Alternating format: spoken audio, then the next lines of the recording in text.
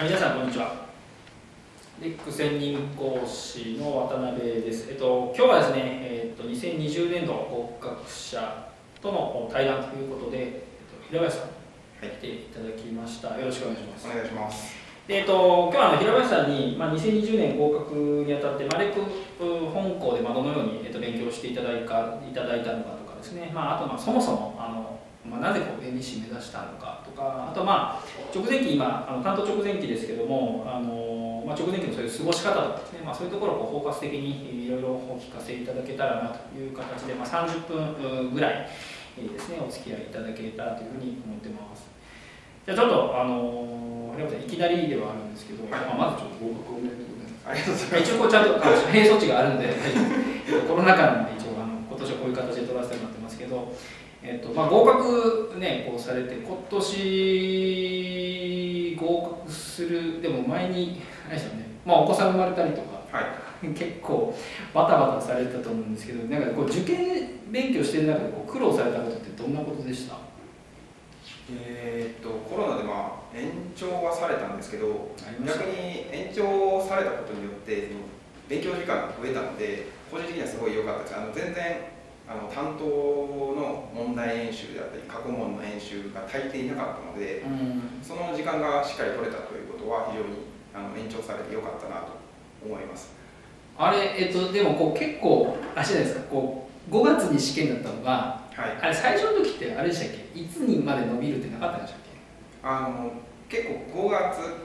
であの延長されるっていうのはあの司法試験の延長されたので、うんうんうん、延長されるなっていうのは分かっていながらもなんか全然工事が出なくて。ああでもそそんな感じでしたよね、はい、いつっていうのがなくて。そうですはい。なるほど。えでもそれでもモチベーションがでもその時下がらなかった？えっとまあ、たくさんすることがあったので多少はまあ下がったんですけどそれからもう、うん、私カフェで基本勉強していたので、うん、カフェがコロナで閉まっちゃって 勉強するところがなくなってちょっとどうしようかなと思った時はもうたすらあのウェブフォローの動画を見てましたね。それでまああの見てれば何かと頭にも入ってきますしあのモチベーション下がってでもずっとあの動画を流し続けることができるのでその時にあの動画をひたすら流し続けてその苦手な部分ですね条約の部分だけずっと流してました。あのパリからTRIPS から PCT からずっと流してましたえっと、じゃあそうすると勉強は、まあ、じゃコロナの関係で、えっと、家でしてた。そうですね。コロナ中のその本当に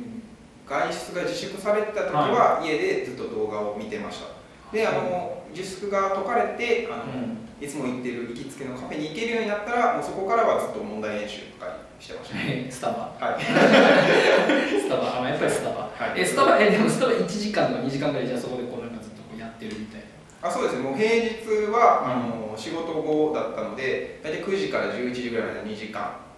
していて夜の？はい。ああそうなんだ。あの僕は基本的に朝と昼できなかったので、えー、夜11時までスタバ開いてるの？10, 10時じゃなくて？そうです。あの近くのスタバが11時まで開いてたので。えどこのスタバ？そうそう僕の田舎のスタバ。田舎にいるスタバが11時まで開いてたので、ね、そこは11時までしていてまあ、休日は基本的にあの本当にスタバにずっといて、うんうん、あの途中途中あのご飯のタイミングだけ家に帰るっていうのをしてました。えー、まあ、結構あれですよね。なかなか、まあ、ちょっとコロナがねあったんであの今年はかなり難しい感じだったと思うんですけど、まあ、それであのパンと突破されてみたいな感じで、まあ、最終的にね、まあ、ロングマイっていう感じなんですけど、まあ、一応あの話から入っちゃったんですけどあの、まあ、この動画自体は、まあ、これから受けようという方向けというところもあるので、まずそもそものところからちょっと話聞かせてもらおうと思ってて、えっと、じゃあ弁理士を目指そうと思ったこうきっかけとかあれば、はい、まあ、今お仕事こんなのしてるとか、まあ、差し支えない範囲であの聞かせてもらえたらと思うんですけど。はい。今あの企業で研究開発をしてます。であの全く知的財産には関わらないところだったんですけれども、まあ、なんとなくあのこのままずっとこの研究開発職を続けていてあの手に職はついていくのだろうかというような ちょっと漠然とした不安があってあの、まあ、その時に、まあ、全くあの知的財産に関わらないってことはなくてあの研究の中で特許のフォローアップみたいなのが少しあって、まあ、そこでちょっと知的財産に関わることができてちょっと面白いなと思ったので、まあ、あの資格についてインターネット調べたところ、まあ、弁理士と知的財産管理技能士があって、ちょっと弁理士は最初無理だろうと思ってたので、えー、あの知的財産管理技能士とりあえず軽く勉強してここは独学で2級まで取って、であの、まあ、1級はかなり難しいと。いうことで、まあ、ここまで来たら次弁理士じゃないかともうキャリア的にもすごい安心感を得たいっていうような理由で、まあ、あの弁理士受講することに決めました。まあ、まっとうですよね、えーと、でも研究どうなんですかね。研究開発職って、キャリアパスとしてこうこうずっと研究開発しててどこに行き着くんですかね。結局マネージャーになって。あそうですね。もうあのその研究開発の中のあのマネージャーになるっていうのが、あの僕のよくあるあのキャリア的なゴールはそこかなってあのずっと思ってたんですけど、うんうん、あのまあ、何何かあの、まあ、それこそ研究開発ずっとしていて何か僕に資格が手に入るわけでもないですし、うんうん、そういうのなんかずっとこのままで大丈夫かなっていうのがなんとなく不安といいますか、うんうん、はい。まあ、漠然とね、はい、マネージャーになって上がっていって、まあ、会社の中ではまあ偉くなっていくのかもしれないけど、まあ、外行って通用するのかとかちょっと分からないし、はい、確か化けでしたよね。あそうですね。あの化け学系です。なるほどまあまあ確かにえっ、ー、と知財管理技能士まではまあ2級までは取られたっていうことだったので、はい、弁理士でちょっとなんか最初無理そうって思った感じ。なな合格率かな合格率とか見たのとあのまあ、知的財産管理技能検定の2級って確か合格率40%ぐらいあって。40ぐらい、ね、はい、弁理士はもう9%とか、うん、であの社会人が受けているとはいえあの基本的に3年4年ぐらいかけて受かってる人がほとんどっていうところから3年4年も多分勉強するのは無理だろうと思ってたのでそこが一番個人的にはネックだったかなと思います。これ難しいですよね。このあの平均受験回数見るとあの合格者の4.5回とか出るそうですはい。出るからまあやっぱ3年4年かかるのかなって思うんですけど意外とあれなんですよねこう。まあだから広林さんとかあと一緒に勉強されたので、まあ、黒川さんもそうでしたけど、まあ、一発合格うちのクラス今回2人出ましたけどっていうのとまあ、例えば十数回かかってる人もいるじゃないですか。それで平均値上がってるだけで実はそんなに、まあ、受かる人も、まあ、辞めちゃう人もいるんで難しいんですけど、はい、算出は。意外とそこまでかかんないような言わないような感じはありますけど、まあ、でも合格率はね確かに今年も9.1%でしたし去年とかで8%とか、あまあ、7%ぐらいになるんで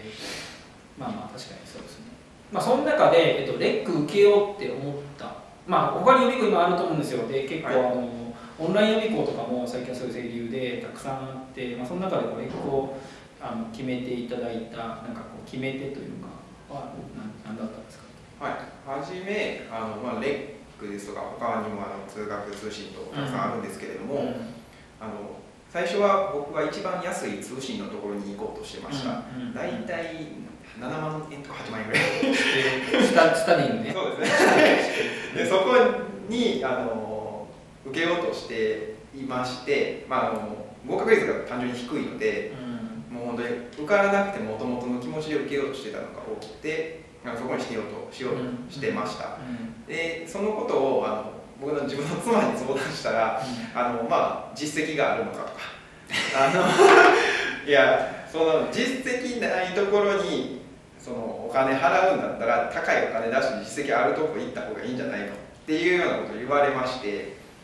で実績が一番あったのがレック。でたまたまその時期ぐらいにあのちょうどガイダンスがあったんで京都で。であのガイダンス受けに行ってあの、まあ、ガイダンスっていうのもなんかどちらかというとちょっと先生が話を聞いてあとはもう試技応答みたいな ような形のガイダンスだったんですけど、まあ、個人的にすごく印象良くて。でもこれはもうここで申し込まないといけないなと思ってその日に申し込みました。ただもう高かったですね。でもこれで受かんなかったら本当にどうしようと思って。ああすごいできた奥さんですね。い やでもだから奥さんは多分そのあんた覚悟あんのってことだったと思うんですよね。その7万かなんかで。いやまあもちろん安ければねダメージも少ないけど、いやそんな難関資格ほんま受かんのみたいな感じだったんでしょうねきっとね。覚悟持ってやってんのっていうのがまあいやいや同じ会社の方でしたっけ？あそうですそうです。すごいな。なんでそれで言われたのでもう前妻が 妻がレックを決めたと言って。も 過言ではないですけど。まあ、はい。あの古く言えば大倉大臣なんで奥さんは。はい。なるほどですね。えっとまあ実際に受けていただいてカリキュラムとか、まあ、あと教材とか含めてどうどうでした？うちのクラスとかの、まあ、特徴とか、まあ、一応いろいろ発信はさせてもらってるんですけどこう受講生観点で合格者観点で見て、まあ、そういうこう京都本校の、まあ、雰囲気とかあと教材もそうですけどカリキュラムとかととあって、まあ、もしクレームあったら全然 ここでも受けたまりますけどあの、はい全然忌憚なくお答えいただけたらと思うんですけど。えー、と基本的にそのレックのカリキュラムってあの3回転学長ではいまああのなんであのどんどんどんどん知識上積みしていくような形だったので、まあ、そこは非常に良かったなと思います、まあ、ただそれだけで受かるような問題はなかったんですけどやっぱり自己学習っていうのは必要だなと。でやっぱり自己学習する中で、まあ、かなり役立ったのは先生のレジュメレベル1から123とあと1.52.5.3.5なんですけどもうここは、まあ、1は僕はあまり使えなかったんですけどまあ、2、3、えー、1.5、2.5、3.5ですね、のレジュメはもう本当に最初から最後までフル活用させてもらって、もうあの逆に論文前とかはそのレベル3と1.5、2.5、3.5ですかね、うん。しかしてないですね、ほぼ。なんで、もうそこはもうそれしかやってない、あとはまあ、ちょろっと道場を受けたんですけど、うん。もうそれぐらいだったので、他にあの市販の過去問を買ったとかもないですし、まあ、そこは非常にあの良かったのかなあの、充実したレジュメがあったのかなとうん。思います。で、先生の、まあ、授業自体と、まあ、僕は通学っていうのはすごい良かったなと思って、うん。通学であの何より、まあ、先ほど一緒に一般合格した黒川さんうん。にはもう本当に最初から最後までずっとお世話になっていて、まあ、担当の時にあのたまたま会場で出会ってで何気なく話していてあのこういうとこ重要だよねとうん。か話していたら結構そこから出たりとか。うん。で論文の時もなんかいろんな情報交換が非常に盛んにできたりとかあと口述の時はもう電話つなぎながら2人であのずっとあの口述の過去問をしおあのお互いに問題出して答えるっていうのをずっと夜中にしてたり。とか。彼女かよ、はい、やっぱりそういうなんかえー仲間ができるのはやっぱりあの数学すごい良かったですし、うん。あのまあ、先生の授業の中で口述のあの過去過去問をあのレベル2ですね、うん。をやるんですけど、まあ、そういうアウトプットの機会があの数学は常にあるので、うん。そういったところはやっぱり通信とは違うのかなと思いました。ありがとうございます。はい、先生の授業もあの僕的にはあの非常にあの理由付けをしてくれる授業だったので、あのすごい良かった。な。なんかもう頭の中結構理系なので、うん。なんか理由がないとあまり腑に落ちずにずっと理解できないまま詰まっちゃうというかのがあったので、この理由付けもしてくださいますし、なんか分からなかったらすぐ質問いけるんで、そこはすごい良かったなと思います。ありがとうございます。まあ、小さいクラスなんで、一応補足させてもらうと、えっと、レベル1とかレベル2とか3っていうのは、えっと、こっちの方で、私の方で、えっと、お配りしてるうオリジナルのレジュメなんですけど、まあ、特にレベル2っていうのは、口述過去問を固めてるやつで、ちょっと今年今改定かけてるんですけど、あ、そうですね。うん、担当試験のあの PCT とか、ああの辺のところちょっと入れたりとかして、でこうあの1対1で実際に問題出し合うっていうやつをちょっと今改定しているんですけどとかあとまあレベル3っていうのは論証集なんですけど、まあ、それをあの、まあ、論文ってなんていうんですかね、まあ、ある程度こう準備ができるし逆に準備しないとちょっと厳しいのがあって対応厳しいので、まあ、それをするやつで、まあ、それをこううまく使っていただいてあとレベル1.5とか2.5とか3.5とか端数のやつはあの、まあ、問題ですね。論文の問題ミニ問題みたいなやつをお配りしててまああの、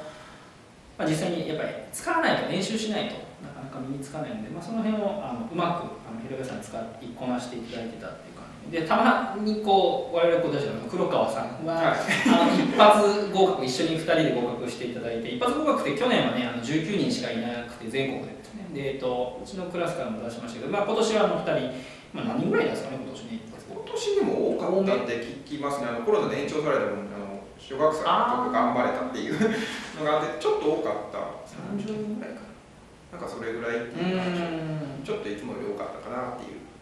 とはいえそうですとはいえ とはいえ4000人近い受験生の中で30人しかいないですね。でまあうちのクラスはねあのからお二人、はい、優秀な方毎回来ていただけてるんですけど、まあ、そういうこうなんだろう横のつながりみたいなところが一つ大きいかなって、まあ、通学の、ね、メリットっていうところで、はい、通学ってなんだろううん今のご時世でいくと逆行してると思っててオンラインでかつコロナなので、もうなんか全然逆行してるし、まあ、でも逆に言うとその通学にこう価値を見出してくれてる方っていうのがいるのかなっていうのは、まあ、うまく使ってくれたっていうのが、まあ、平林さんと、まあ、黒川さんもそうですし他の担当合格して、まあ、論文は残念だけ残念だったけどっていう方に関しては、まあ、あのうまくやってくれてるのかなっていう感じですね。はい。ありがとうございます。うん。まあ、そうですね。まあ、あのあと自習の話があったんですけど、はい、えっと、1日どれぐらい勉強してました、まあ、どれぐらいってこう定量的にこうちゃんと測ってればどれぐらいって言えるんですけど、まあ、どれぐらい1日どれぐらい1週間でどれぐらいとかもしあれば、えー、平日は基本的に最大2時間。最大2時間。はい。あの夜しかしなかったので最大2時間ぐらいですね、あので休日は土曜日は基本的に講義で潰れた時はもう何もしない、で日曜日は最大8時間ぐらいですかね。で講義がなくなった後についてもあの土日のうちどちらかはまあその子どものお世話ですとか があったのであのプラス2時間。なのであの講義がない時で、えーまあ、2×6 プラス8で最大20時間週ぐらいですね勉強時間としては。多分少ないと思います。少ない、はい、俺めちゃくちゃ省エネやな。今まで聞いた中でいくと多分1、2に争うぐらいの省エネで、まあ、どうしてもあの平林さんの場合はさっきちょっとお話冒頭でお話ししたようにお子さんが生まれたんですね。あれ多分担当前でしたよね。そうですね。2020年の2月なんで。担当が結構担当が伸びたんでちょっとあったんですよ。ただ。まああの2月だったんですけどあの、まあ、妻と一緒に子供が実家にその間はいたので、まあ、そこは週に1回は妻の実家に通っているような状況だったので、えー、基本的にあのどちら土曜日日曜日のどちらかは潰れていると。なるほど。はい。いった状態いやこれでもね相当少なくて、えっと、いつもガイダンスで喋ったかわかんないんですけどあの20時間は確保してくれって言ってて、えっと、それは、えっと、休日の講義土曜日の講義以外で20時間確保してほしい。だから1日3時間つけ使ってで日曜日に5時間。20時間なんですけどこれ多分10えっと18 18時間ですよね。18時ぐらい18ですよね。で講義土曜日の講義なくなったらやっと20に乗るみたいな感じですね。なのでまあこれかなり省エネ。だからまあすごいですよね。少なかったと思います、ね、これは、うん、なんすごい。あの多分マックスでそれぐらいで、うん、あの日本講座とかあの初めの方ってなかなかあのうまく自分の勉強のペースがつかめなかったので、うんうん、もうちょっと少ないと思います。なんでただあのそのコロナで延長された期間もずっと同じペースではやってたのでなので4か月伸びたんで、まあ、4か月で、まあ、16週で20時間なんでそこでまあ300時間ぐらいは勉強できてるのでまあ今まで少なかった分、まあ、そこでちょっと取り返せてってなったのかなと思います。まあそこでまあ300時間とかアドオンされてそうです。乗ってきてまあまあ少し不足はしてたかもしれないけど、はい、まあでも賢いんやろななんかこう うまくねいや5月を受けたらもう絶対に押してました。あの本当に5月に直前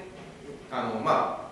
あ5月その担当の受験日にちょうど合わせてレックの模試を1個残しておいたんですよ、うん、やったんですよ、うん、時間かかって、うん、29とかぐらいですかね。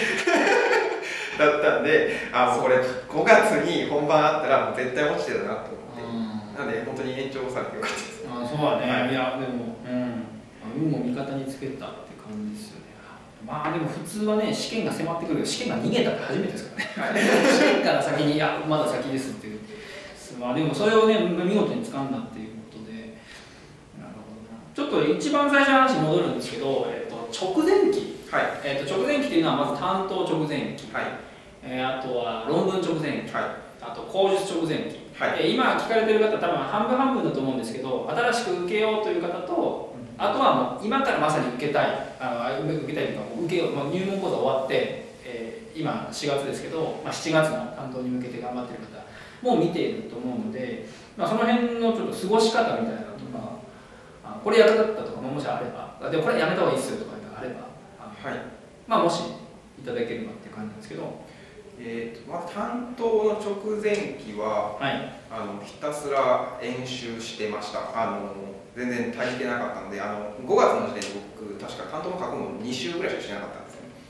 なのであのその回すのを追加したのとあとあのレックの東連であの改定があったところとかの問題がそこでしか手に入らないっていう状況だったので、まあ、そこをやはりちょっと練習しとかないとなと思って、えーもう一回全てやり直したのと、ええもう一回全部？ー全部解き直しましたね。あのすげえ60問のやつをあの2週ですね。あの1週ほんあの実際その場でしてるんでもう1週はしてました。であのまあ本当の直前期1週間前とかは結構担当アドバイス読んでました。うん。あのもう演習であのもう自分なりにここまで演習しようっていうところが終わったのでうん。あとは担当アドバイス読んでうん。あのなんか自分ここちょっと苦手だなとか思うところがあったらそこをなんか白紙の紙に僕書き出していてで直前担当直前それだけ見ればいいようにしてました。うん。あの担当直前なんか何を見ればいいか分かんなくなってしまうのでとりあえずもうそれにまとめて分からないところだけこうバーッと書き出していくっていうのをしてました。でこれ一般的には司法対処法文書にこう一元化するじゃないですかあそうですねはいそれと別にあそうです。あの司法対象に書き込んでるのはあの司法対象の条文に載ってない青本とかうん。審査基準とか、うん。あの判例とかの情報を書き込んでたんで、うん。僕が覚えてる青本の情報とかも載ってる。うん。ただ僕が覚えてないところだけこうそこから拾うにしてもなかなか大変なので、うん。覚えてないものだけをまとめたもう本当に紙一枚です。ねを作ってました。えそれはその本当に一枚に入れるのか全部こういったびっしり細かい字であ細かい字とか書かないですね。もう結構でっかい書きました。あでこうあこれは覚えてへんわっていうのがはいとかとか。へえでそれそれをうん。直前にこう見る。それがこうあ覚えてないなっていうのを自分で感知してやるのか問題解いて間違えたやつを入れてたのか。えー問題解いて間違えたやつも入れてましたし、うん。アドバンス読みながらあれこれなんかあんまり分かってないなって思うところを書いたりとか。ああなるほど。じゃあそういう主観基準みたいな感じではい。へそれが担当の直前え期ですね、論文の直前期もずっと練習してましたね、論文は何を演習してたんですか？まあ、そのレベルあ1.52.5.3.5それしかしてないですね逆に。え？あとあのまあ東連はもちろんあったんで、まあ、それはもちろんやるんですけど、うん。まあ、東連はもう一回解き直したというよりあの一回解いてあの間違ったところを復習してあとはまあレベル3の論証をうん。読む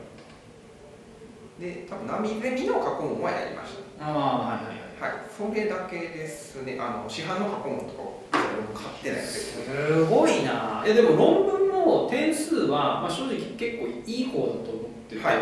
あのよく取れてたと思うんですよ。まああの好きだったと思うんですよ論文が。まず論文は好きでしたね。担当より。はい。っていうのはあるけれどにしても分量というか範囲的な1.5、2.5、3.5か5問まあナビゼミで使った過去に、はい。なんであここ5年分ぐらいですかね。5年分ちょっと5、はい6年分ぐらいしかないですねへえそこだけですね。まああと直前道場は受けたんですけど、直前の道場はやり直しとかはせずに、あのちょっと難しい問題に触れておきたいなっていう意味も込めてはいはい。受けたっていう状態ですね。へあえとは本当にしてないです。論文あの僕多分勉強方法が 特殊だったんで。うん、論文ほぼ僕全文書き近く書くんです。毎回。全問題。あそうなんですか？はい。あの答案構成がすごい苦手でそれそれあの10分ぐらいしか僕答案構成しないですよね。10分とか15分ぐらいですか。本番もそんなもんだったんですけど。なんであの答案構成だけだったら自分が書けるようになってるかがわからないんですよ。うん。なんであの論文練習の結果からもう本当に8割とかぐらいあの略語だけで書くとこももちろんあるんですけど、うん。趣旨とかはもうほぼ全部書いてました。あの書かないと覚えられないと思ったんでなんでレベル1.52.5.3.5全部書いてましたね。フルフルでほぼなんであのいやでもそうしたらすごいですね。いやもうすごいと思います。レベル1.5から3.5とか。もう本当に少ないものを完璧に回すぐらいのイメージ。で、まあ、まさに有限にして極めるというか、はい。実行してもらったというところで。はいありがとうございます。じゃあちょっとそろそろお時間もなってきたので、まあ、最後にですね、あのーまあ、じゃあ今後の目標も含めてなんですけどあとは2021年に受験される方あと来年向けに頑張りたいという方にちょっとメッセージいただけるはい。えーまあ、今後の目標はちょっとあの弁理士としての実務経験は全くないので、まあ、そこの実務経験を積むっていうことが一つ目標なのとあと何らかの形で個人的にちょっと予備校関われたらなと思ってるので、はい、何かできたらなと思ってます。でメッセージなんですけどあの僕はあの申し込む時にすごいビビってたんですけど、まあ、弁理士試験ってあのしっかり勉強すれば、まあ、受かる試験だと思うんです。であの確か先生はなんか担当1年目は6週ぐらいわーって回して1点差で落ちてでその後確か50点っていうもうかなりの高得点で受かられてるんですけど、まあ、過去問6周して、まあ、ほとんど合格点近い点数が取れていてで、まあ、渡辺先生その50点取った先生から教わっていたらなんとなくあと過去問しっかりしたら受かるんじゃないかなっていうふうにずっと思っていて、まあ、そういうモチベーションで僕は勉強していたのであの受かる試験なんだこれはって思ってあの合格率とかに惑わされずに受かる試験なんだと思って勉強していただいたらあのきっと結果はついてくるのかなと思います。はい。ましたはい。ありがとうございます。じゃあそしたらばえっ、と何回ですねここまでというふうにさせていただいて。あと細かいお話とかももしよろしければガイダンスとかもありますし、えっと京都本校にえー来ていただいて、まあ、直接お話しさせてもらえればというふうに思います。じゃあ今日はどうもありがとうございました。ありがとうございました